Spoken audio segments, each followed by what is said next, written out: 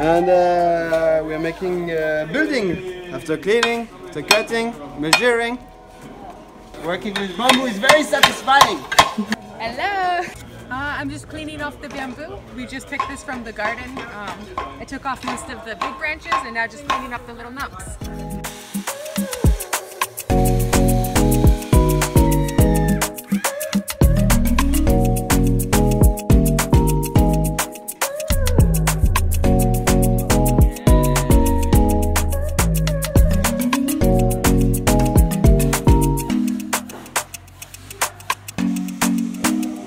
Hi, my name is Omar Hi, my name is Shashi.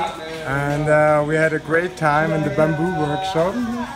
It was really amazing. We learned how to use the different tools that we need for the bamboo. We learned how to cut the bamboo, how to prepare it, and then we even learned to build.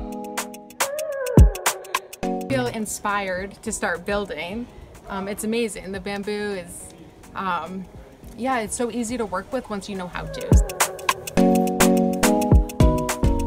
I came here basically just for interest and now I got many ideas about what to build. I think it's very interesting to learn about bamboo.